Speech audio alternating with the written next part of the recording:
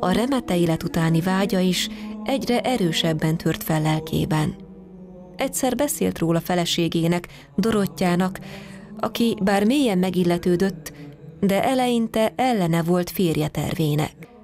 Aki nem csak megérti és elfogadja férje döntését, hanem ő maga készíti el vastag darócból az egyszerű, földig érő remete ruhát.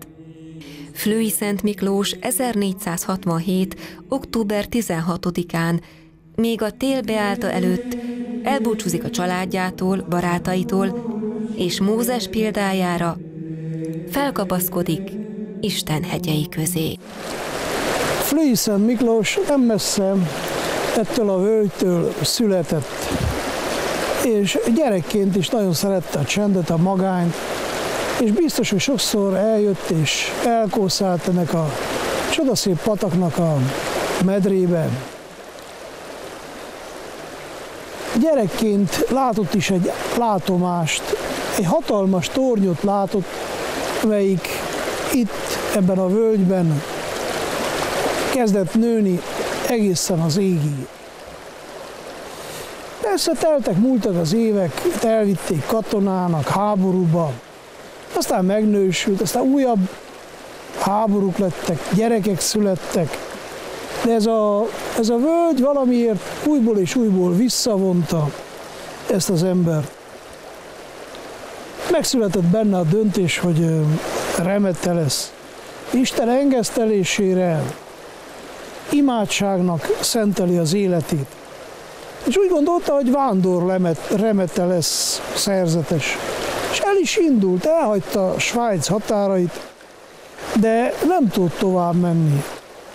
Egy belső erő megállította, és visszahozta. Gondolom, hogy ő arra gondolt, hogy hát ilyen közel a szülő földjéhez, családjához, hát hogy néz ki, hogyha ő remete. És ezért egy, egy innen távolabbi völgyet választott, ahol újból csak elkezdett imádkozni, de ott se találta nyugalmát, helyét. És végül visszajött arra a helyre, ahol gyerekként látta az égigérő tornyot, és ott alapította meg a remetességét. Itt, a csodaszép patak partján, itt ebben a völgyben. Mi lett az álomból? Én Erdély földjéről jöttem ide tanácsi, vigasztalási, erőért. Több mint 500 évvel az ő halála után.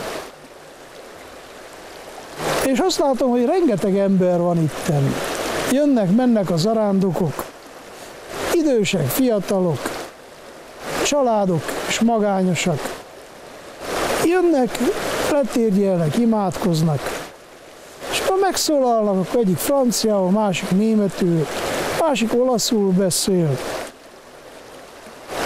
Füzetet, ami minden oltára ki van rakva, hogy az emberek kéréseiket megfogalmazhassák, leírhassák. Többenetes látni, hogy hát a világ minden nyelvének betűi ott vannak, ott sórjáznak. Fli Szent Miklós oltáránál. Igen. Lám volt egy szép gyerekkori álom, és az álom valóra vált. Torony, torony égig ér, és nagyon sok ember eljön ide, hogy megfürdesse lelkét békébe, szeretetbe, jóságba, imádságba. Csodálatos az a szép táj. Olyan, ami ennek Isten megálmodta, megalkotta. Az emberi kéz Svájcban úgy látom, hogy durván, brutálisan nem avatkozik belé, nem rondítja el. Meghagyja olyannak, ami ennek a Jóisten megálmodta.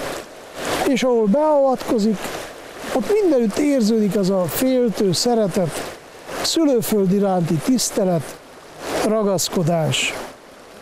Adná az Isten, hogy tényleg mi is gyermekkori álmainkat ugyanígy tudjuk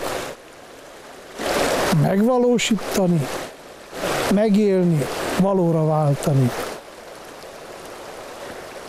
Flű Szent Miklós hajdani álma, az a nagy torony, amely a békéről, Isten és az ember közötti útról szól, valóra váljon.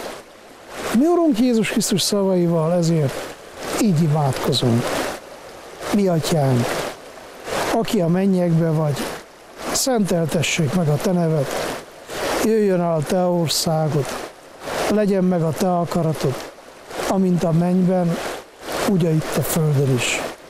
Minden napi kenyerünket add meg nekünk ma, és bocsáss meg a mi védkeinket, miképpen mi is megbocsájtunk az ellenünk védkezőknek, és ne vigy minket a kísértésbe, de szabadíts meg a gonosztól, mert tiéd az ország, a hatalom és a dicsőség, mindörökkön, örökké.